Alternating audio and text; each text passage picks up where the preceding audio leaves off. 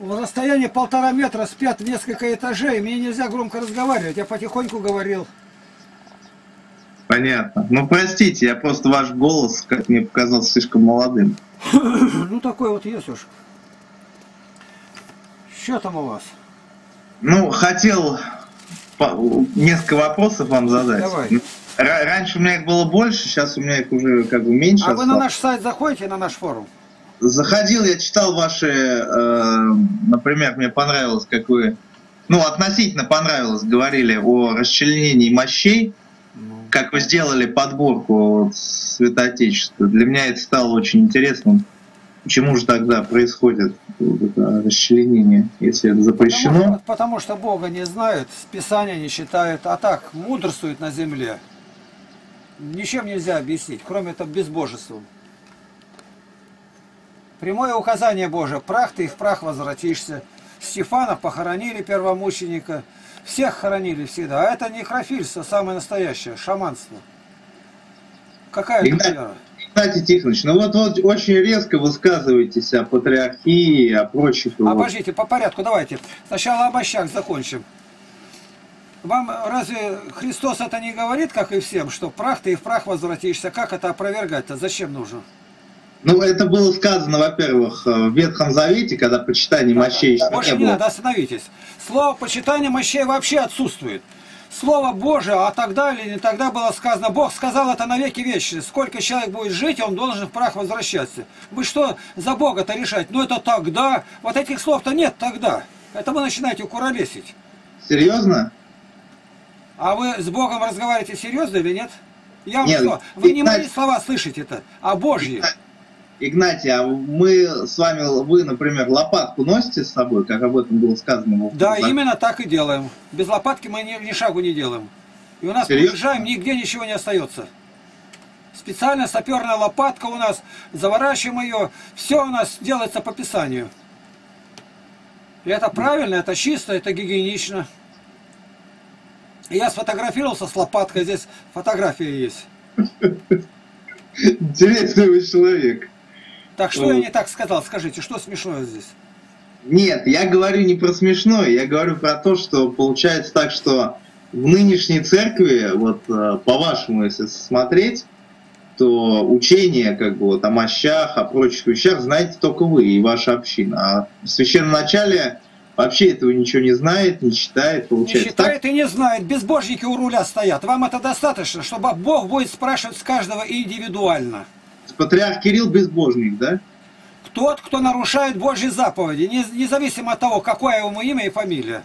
Не, ну подождите, патриарх Кирилл безбожник? Вы говорите, руля. о патриархе Кирилле не, не- не положено разговаривать. Я разговариваю вообще, а он сам с собой разберется. Всем нам надлежит предстать при судилище Христова, чтобы каждому получить соответственно тому, что он делал, живя в жизни доброе или худое.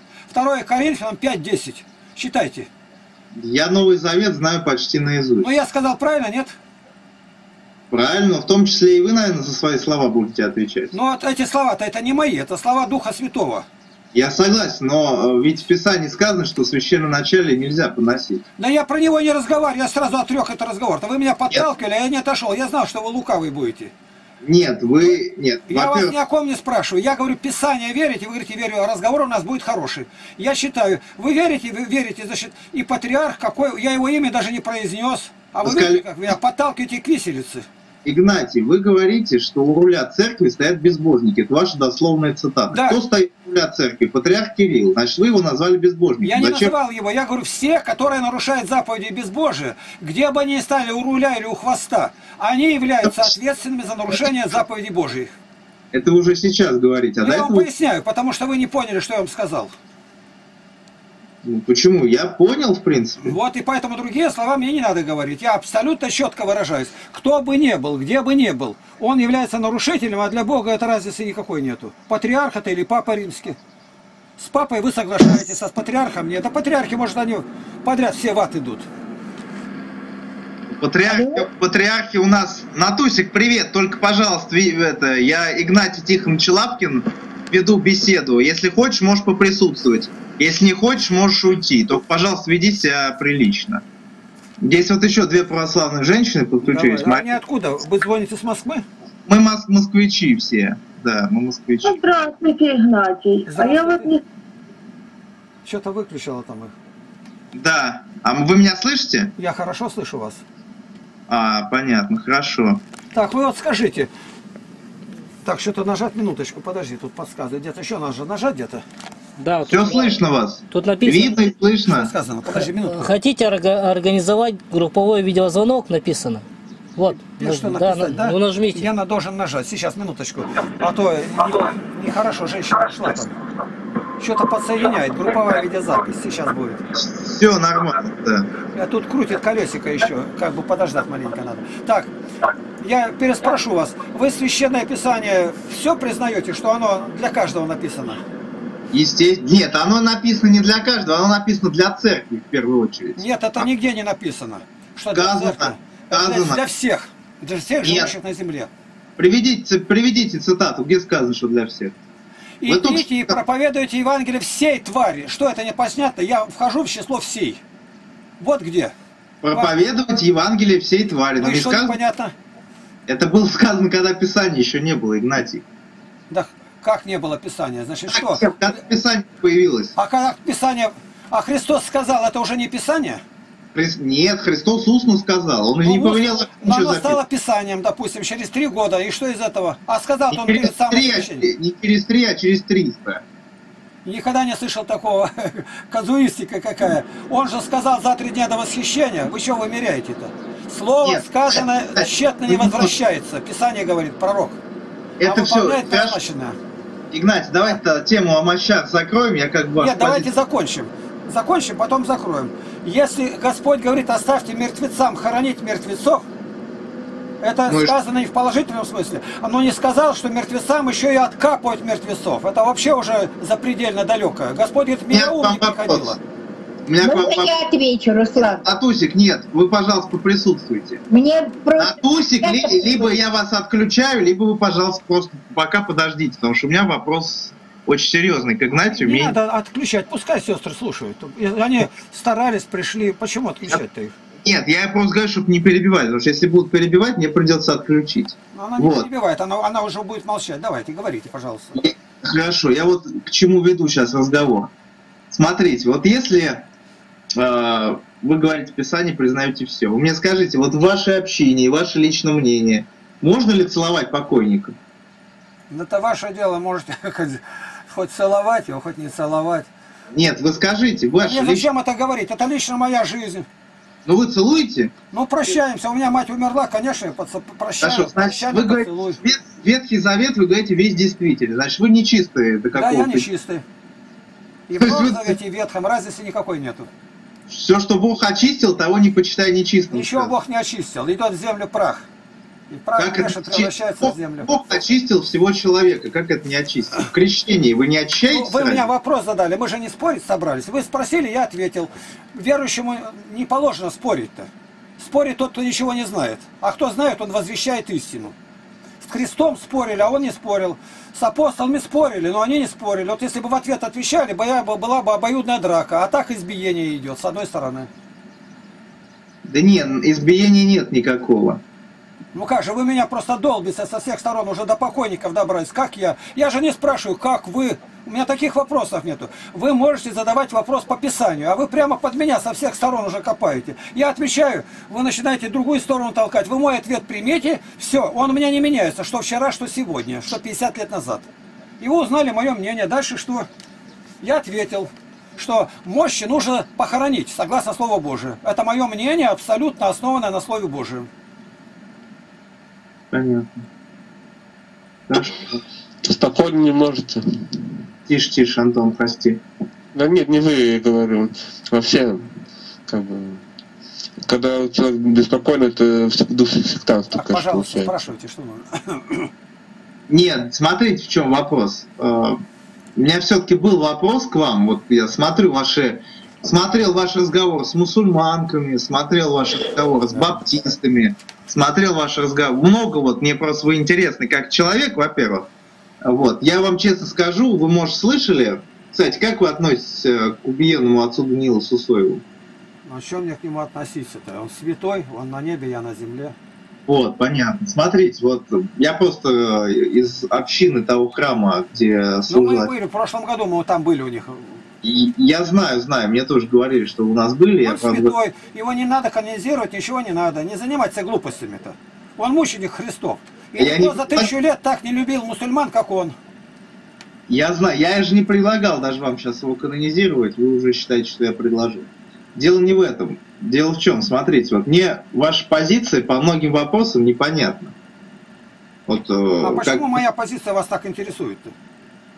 Нет, я ну, почему интересует? Потому что мне просто интересно вас понять. Вот то миссионер, то православный, то Да. вы, то вы, например, говорите, что одно- относили долгие годы десятину к баптистам. Ну и что? Но это разве православное? Ну я православное? относил дальше-то, что вы за это отвечаете. А Не, куда к баптистам-то? ты- Баптистам-то куда? Игнатий, вы просто смотрите, если вы не хотите разговаривать, может, мне просто интересно вас понять. Я говорю, что я распространяю Слово Божие, и оно нигде не печаталось подпольно. Я через них отдавал туда, где печатались тысячами и раздавали.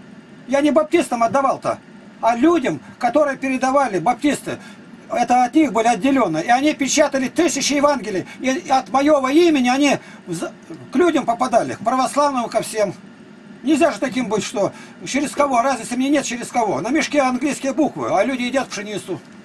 Откуда Не, и чего? я, я же не про Евангелие говорю. совсем Я говорю о моем бытии. Я отдаю туда 9 десятин, 50 лет отдаю, не, не одну. А тут одной не выжмешь. Я отдаю 9 десятин, 50 лет. И поэтому на двух, на трех работах работал всю жизнь. И эти деньги я давал на дело Божие, чтобы Евангелия были в России. Что непонятно тут? Даже никто мне никогда вопрос не задавал. А кто вы А- печатали, католики это или коммунисты, я бы туда отдал, лишь бы отдавали даром. Какая разница, чья рука передаст хлеб, на который я отдаю деньги? Это все казуистика. От ничего не делания, от безбожия. Про- Нет, Можно спросить, да спра- Так, пускай Спраш- спросит, сестра там какая-то просит. Дай ей Спасибо. слово. э, будьте добры, подскажите, пожалуйста, по какой причине у Гидеоновых братьев не печатается Ветхий Завет? Они печатают только Новый Завет. Ну, я вам отвечу. Потому что, вот мне, допустим, дано только носки сделать. А полный костюм, это большая фабрика делает. Вот и, и издают они отдельно Евангелие от Иоанна. Маленько стали получше работать. Сейчас Евангелие от Иоанна вместе идет с посланием к римлянам. Оно дешевле стоит, а для начального это достаточно. Теперь стали выпускать четыре Евангелия по благословению патриарха Кирилла. Четыре Евангелия. Мы сегодня, вчера только получили, сегодня мы уже раздавали их. Ну а потом Новые Заветы. Потому что главное для нас это Новый Завет, естественно. А Ветхий Завет вместе с Новым Заветом, да еще по православному, чтобы с неканоническими, это, конечно, солидный труд, дороже стоит. Только поэтому, больше ничем не, не объяснимо. А может быть объяснимо еще и по-другому? Ну, может, по-другому. насколько я знаю, они не признают Ветхий Завет. Но это безбожие. Не Поэтому признают это ересь. Все святые отцы признают, и Златоуст, и Григорий Богослов, и, Ефрем Сирин Я признают. говорю про Гидеоновых братьев, я не говорю про православных. А, ну, они работают так, чтобы больше людей получили. Это тоже понятно. А в начале 90-х годов э, как раз э, Гидеоновы братья распространяли. Может И быть так. 80-е годы тоже. Мы от них В основном много книг получили. Я их вымениваю книги на свои книги. А зачем выменивать? А как, зачем? Они Они деньги требуют, а денег-то нету. Они сейчас деньги требуют, так не дают. Они распространяют бесплатно и Я бесплатно. говорю, деньги требуют. Деньги. Раньше давали бесплатно, сейчас только за деньги. У них принято решение не давать и свидетелям Иеговы, и православным. Решение такое. Они нас приравняли православных к свидетелям Иеговы. И на это есть основание. это какое же интересное основание? Основание, есть такая болезнь, она в купе две болезни идут. Трусость и корысть. Корысть и трусость. Вот исповедник был Христов, он шесть сроков отбыл. Краснов Левитин, церковный историк. И он говорил, государство больно корыстью и трусостью. Трусостью и корыстью. И трижды больна моя родная православная церковь. Православные эти деньги берут Евангелие и продают их иногда в 10 раз дороже. Я этому свидетель. Ну где? Где? Барнаул, Покровский собор, Алтайский край. Еще более точно, э, улица Никитина, 137. Еще поточнее, на первом этаже. Понятно, Игнать, просто понимаете, вы берете какую-то одну э, ситуацию в церкви и выводите ее на общецерковный уровень. Хорошо, То же самое- хорошо. Вы Это- знаете, что к тысячелетию Руси были присланы Библии, специально изданные к юбилейной дате. Лопухина, 12 книг в трех томах. Ну, замечательно. и что? Бесплатно. А продавали почем?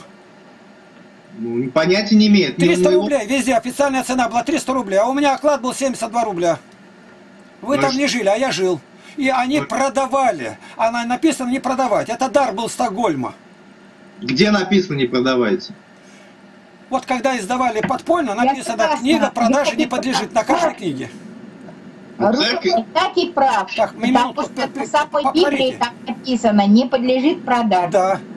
И так и нужно отдавать, потому что на это жертвовали деньги. Я жертвовал все, что у меня было, какие друзья. Разошлись тысячи новых заветов. А где что, мы не знаем. Вот тайная милостыня. Не, ну просто понимаете, вот э, то, что сейчас Кураев, например, делает, да, и вот то, что многие миссионеры делают, просто почему меня это интересует. Берется какой-то один частный случай какого-то греха священнослужителя, э, э, там, то, того случая, который вы сейчас рассказали, например, там продают что-то, что не должен продавать.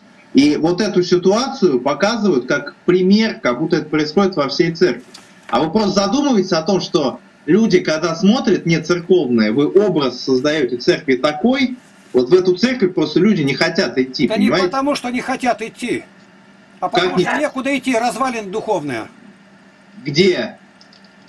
Я, Я, знаю. слушайте внимательно. Состояние православной патриаршей церкви, тире, духовные развалины. Вы согласны, нет?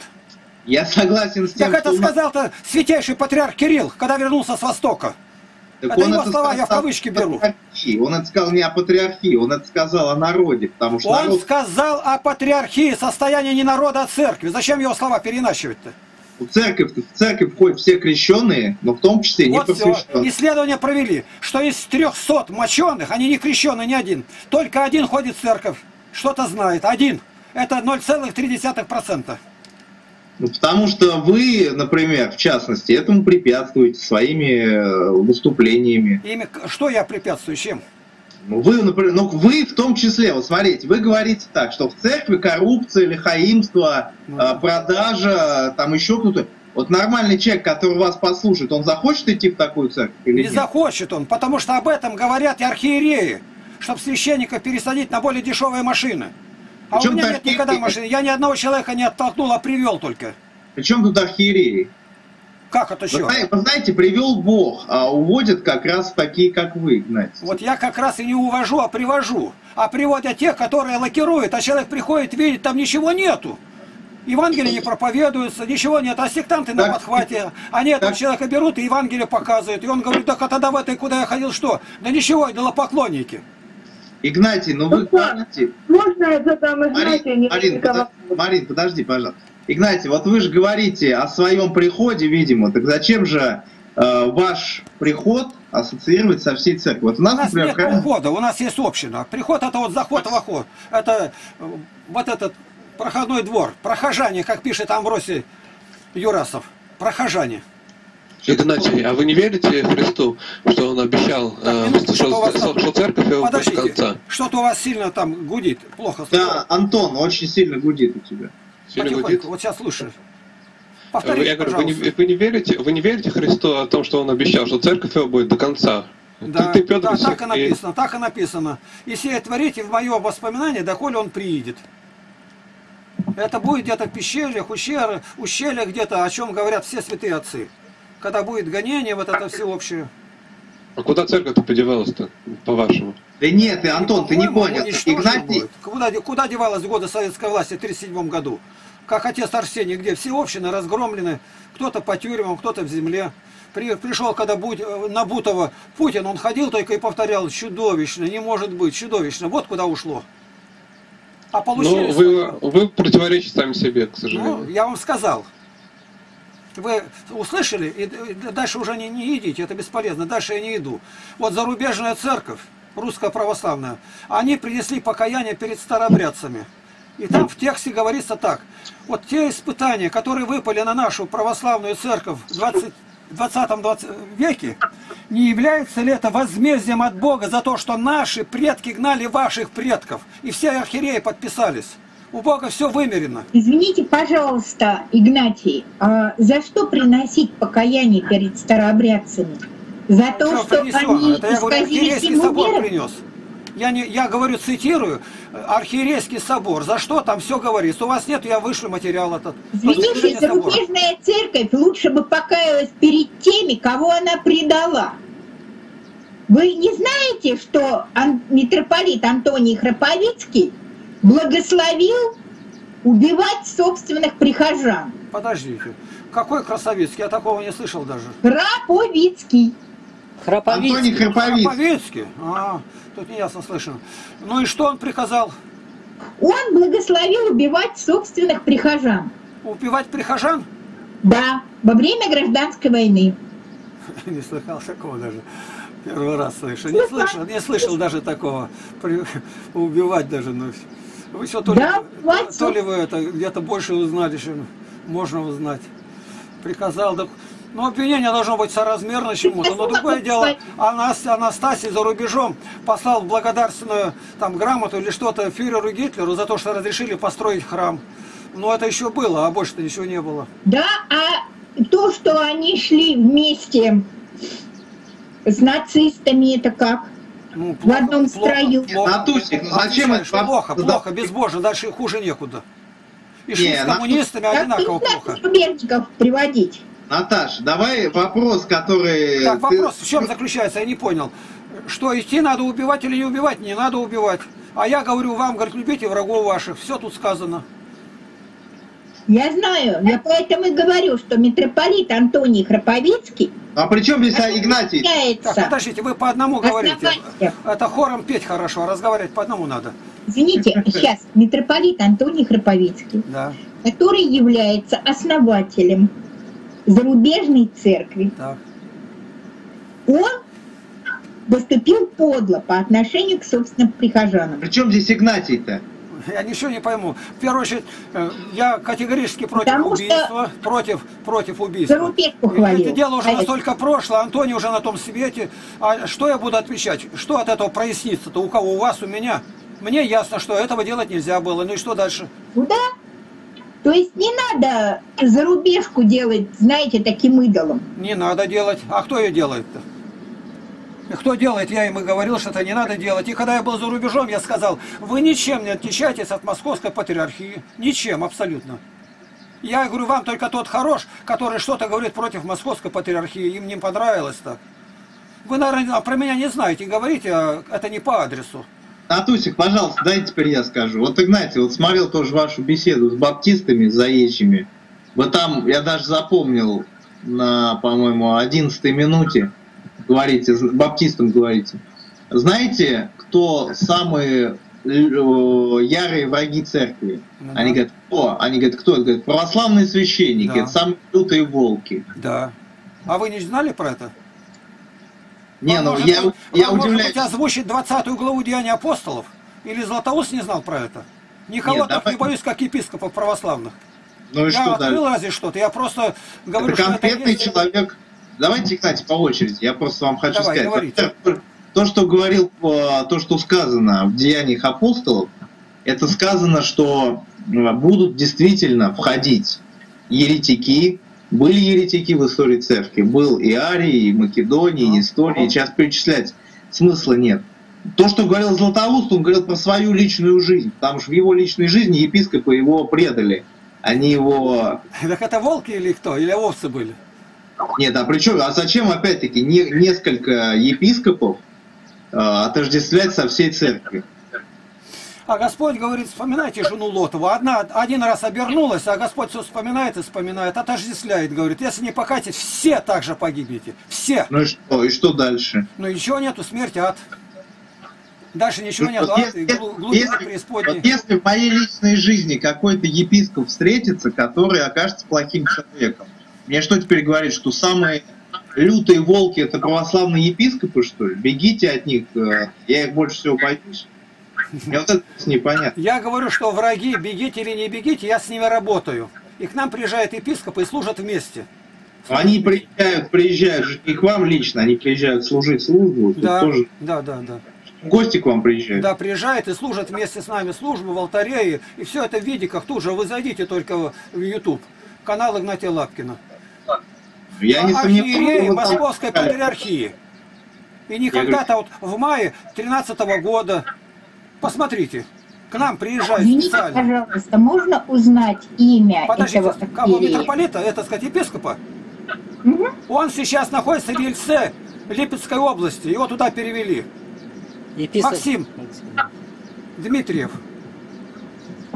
А сейчас у нас новый Иванников, Сергей. И он то его только поставили, он сразу приехал к нам по Теряевку. Сразу же. И там у нас священники, приезжают с ним 4 священника и 11 семинаристов местной семинарии. Кому они приехали? К нам приехали. И в ту же своей церковной газете печатают, и где я стою у двери, и в каждой фотографии Игнатий у дверей, Игнатий впереди снимает. Куда пришли? Теперь я с ними беседую где?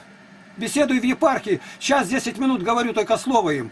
Секретарь встает и говорит, под каждым словом Игнатия Тихоновича я могу подписаться. Секретарь епархии. Беляев отец Сергий.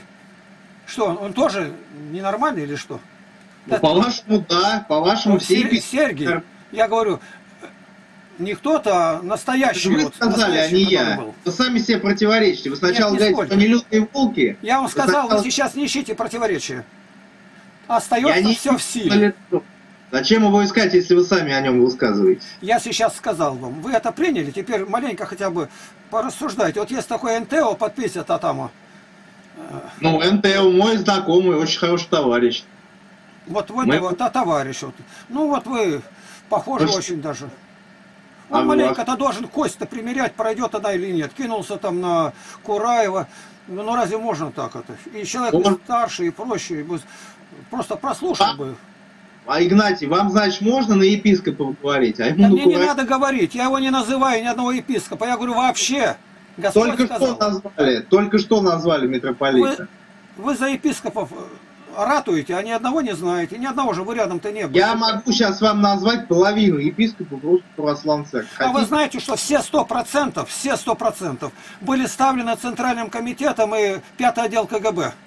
И А вы знаете- с ними А вот это неправда, Игнатий. Натусик, помолчи, пожалуйста. Помолчи, пожалуйста. Подождите, Натусик, вы сейчас Натусик, услышали это, первый раз слышите, не слышали раньше?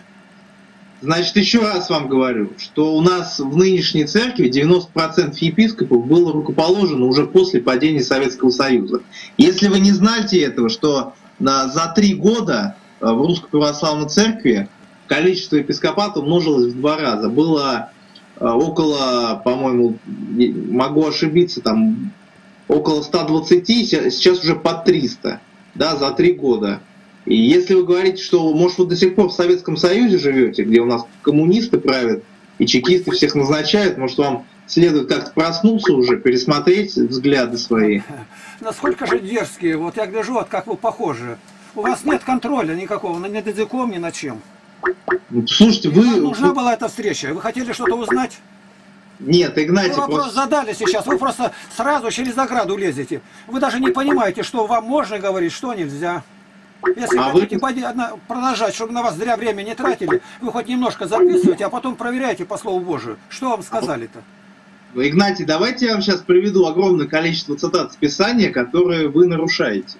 А вам зачем это нужно? Ну как, а вам зачем нужно меня а я к вам упрекать? не лезу, вы на меня вышли, и вы же начинаете хамить.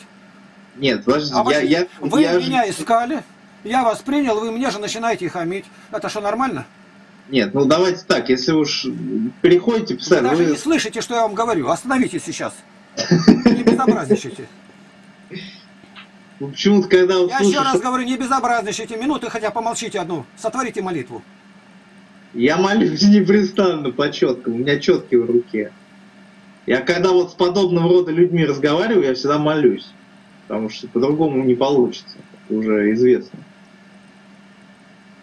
Понимаете, вы как бы человек Я очень... прошу одну минуту, помолчите, пожалуйста, одну минуту, помолчите, помолитесь. А, вы, вы хотите помолиться, я и так молюсь, мне не надо молчать, чтобы молиться, я могу молиться в уме. Давайте мы помолчим, вы помолитесь.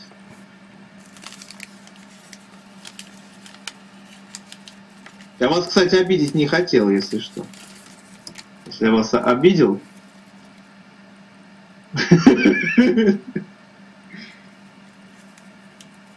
Смешно. Да все, все, я не вижу, можете дальше не клеить.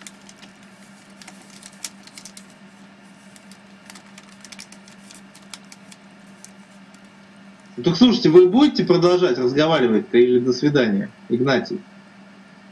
Закрывать конференцию? Игнатий странно, конечно, нервный такой вообще. Не, я, кстати, я честно, я его обидеть вообще не хотел, вот Ну честно. понятно, я, я-то верю, это просто Игнатий сам как-то Не, просто человек, который называет... Знаете, вы с нами, нет? не очень адекватно ведет Он с нами, он с нами, он просто закрыл камеру. Вот. Не, просто мне, честно говоря, непонятно человек, который говорит, что епископы это лютые волки, и в эту же секунду этот человек говорит, что я следил за своим языком. Даже минуты не прошло. Да он думать просто не хочет, хочет только слышать только себя. Это же эгоизм. Не, ну давайте все-таки человек нас старше здесь всех. Не будем так э, говорить резко. Ну просто мне интересно было давно его послушать, что он говорит. Потому что когда задаешь вопросы, это все-таки лучше, чем когда ты просто лекцию слушаешь. Люд, как дела? Привет. Люд, Да, да. Ну, я просто пока слушаю. могу сказать. Я как бы не понимаю, зачем меня добавили, это что толку от меня. Это- Я-то могу сказать, это не Игнатий, Игнатий это не хочет, все равно любой, любой этот самый э, в дух сектанства никто не захочет слушать. Меня тоже действительно интересует вопрос, почему нужно вот так вот э, плохо отзываться о епископах православных. Вот со своей стороны я, наоборот, всегда стараюсь их всячески защитить, как-то сказать, да, но бывают плохие, но есть и хорошие. как- Я тоже, я тоже пытаюсь защитить, а вот а Игнатий, он сектант, он, э, он просто этого не хочет признавать. Ну, Вот. Как-то вот мы должны, наверное, все-таки как-то прикрывать. Ну, конечно, и даже в Писании написано, что, ну, чтобы- что это очень опасно даже хулить. Ну, действительно бывают какие-то вот такие вопиющие даже случаи, но Ну, Игнатий просто не хочет на себя смотреть просто, и все. это... При этом, при этом давайте мы, может быть, все-таки заметим, что э, Игнатий нам симпатичен, и в некоторых моментах мне вот очень понравилось, как он общается с мусульманами, э, как он э, вообще, что вот у него такой миссионерский настрой. Не, Это, Есть, есть, есть, конечно, я же не говорю, что полностью там у него что-то не так. это, конечно же, очень... Говорю, вот, вот иди- нет, нет, человек, как бы, какие бы добрые дела не делал, да, вот, но если у него такая хула на Бога, э, на церковь, это, это, это, как бы, это наоборот как раз дьяволу и выгодно, чтобы человек не пришел к Богу. Вот в чем дело. Ну да, когда вот э, обобщать и всех вот под одну гребенку грести, что вот все епископы православной церкви, э, они вот э, плохие, получается, что мы действительно кого-то вот э, на кого-то клевещем, потому что наверняка есть епископы, которые очень достойнейшие, очень Конечно, мощные, конечно, конечно. э, А Игнатий просто этого не понимает. Он идет в бездну. Как? Ужас. Ну, в общем, э, хотелось бы, да, вот как-то вот не обижаясь, но взглянуть и на свои ошибки. Ну Да. да. А, кстати, а кто конференцию задавал? Игнатий позвонил мне сам. Я ему как давно писал в конференции. Он мне сам сейчас позвонил. И Наташа? Наташу я добавил. А. Ясно. И теперь мне понятно, что это действительно сектантская община целиком полностью. Ну, это понятное дело. Абсолютно. Вот. Да я и так видел, это просто даже вот тут по, так- по, нам- по манере. Это вот так противно уже стало. Ну а что, Игнатий, он у нас совсем отключился? Непонятно. Игнатий, вы, может, к нам присоединитесь? Я же вижу, что вы тут.